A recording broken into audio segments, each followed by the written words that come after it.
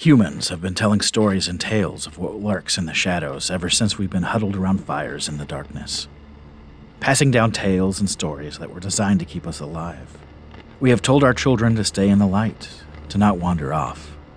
Be it that old woman with the candy house or the boogeyman under the bed, we warn our children that there are things out in the world that will carry them off into the night.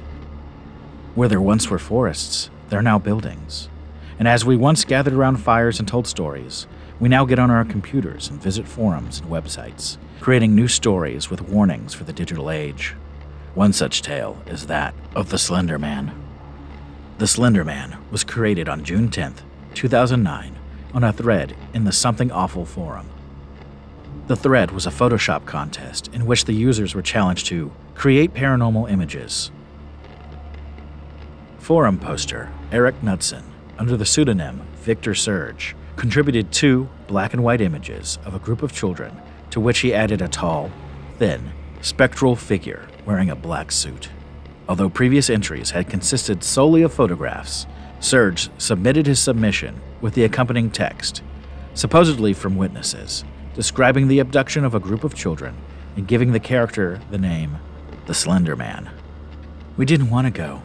We didn't want to kill them, but its persistent silence and outstretched arms horrified and comforted us at the same time. The quote under the second photograph read One of two recovered photographs from the Sterling City Library blaze. Notable for being taken the day which 14 children vanished, and for what is referred to as the Slender Man. Deformity cited as film defects by officials. Fire at library occurred one week later. Actual photograph confiscated as evidence. By adding these short quotes, Eric, in essence, created a fictional narrative for the images, catching the imagination of viewers.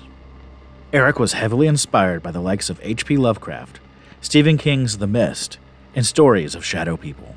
Knudsen's intention was to formulate something whose motivations can barely be comprehended, and which caused unease and terror in a general population. It seemed he was successful.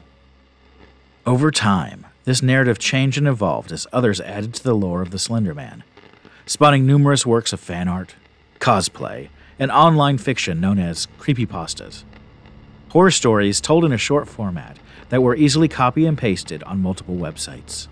Let loose on the internet, the legend of the Slender Man became the subject of a myriad of stories by multiple authors within an overarching, growing mythos.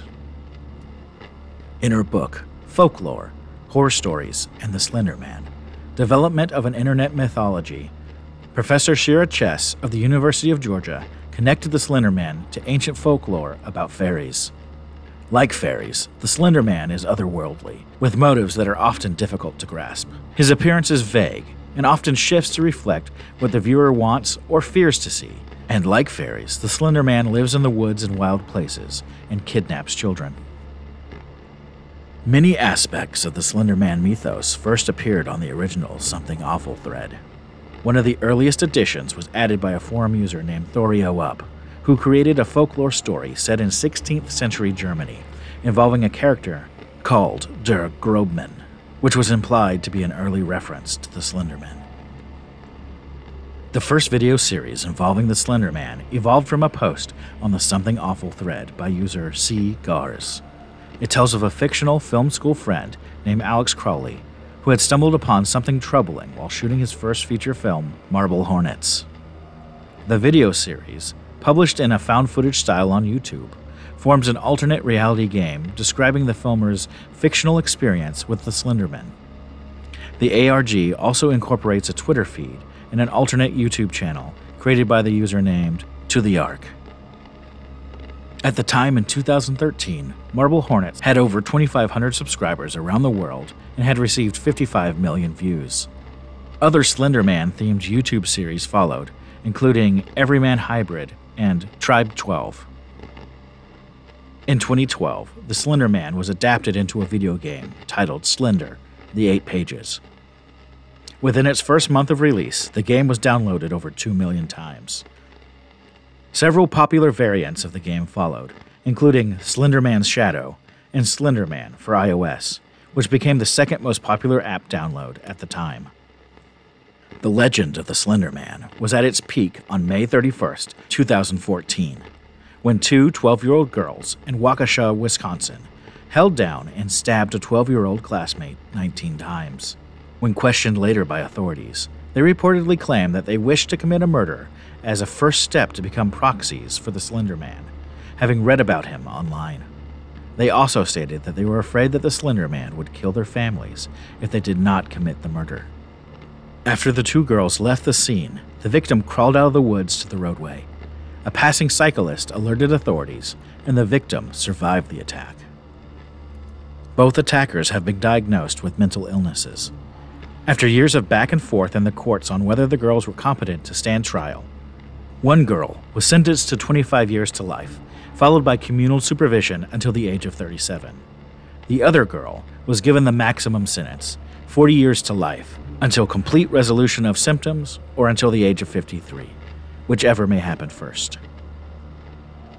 In 2020, an appeals court rejected the second girl's petition to be retried as a juvenile. Her attorney, Matthew Pinix, argued that she should have been charged with attempted second degree intentional homicide rather than first degree, and argued that the girl gave statements to investigators before being read her Miranda rights. He petitioned the Supreme Court of Wisconsin to review the ruling. In early 2021, the Wisconsin Supreme Court declined to hear the appeal. The stabbing in Waukesha spawned a nationwide moral panic over Slender Man across the United States. Parents across the nation became worried about the potential dangers that stories about Slender Man might pose to their children's safety.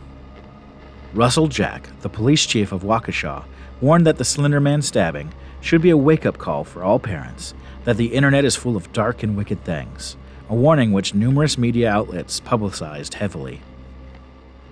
After hearing the story, an unidentified woman from Cincinnati, Ohio, told a reporter in June of 2014 that her 13 year old daughter had attacked her with a knife and had written macabre fiction, some involving the Slender Man, who the mother said motivated the attack.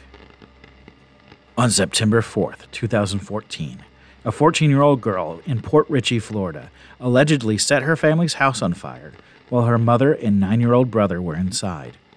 Police reported that the teenager had been reading online stories about the Slender Man.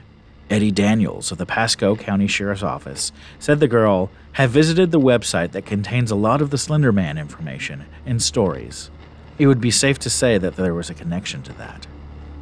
Several scholars have argued that, Despite being a fictional work with an identifiable origin point, The Slender Man represents a form of new digital folklore.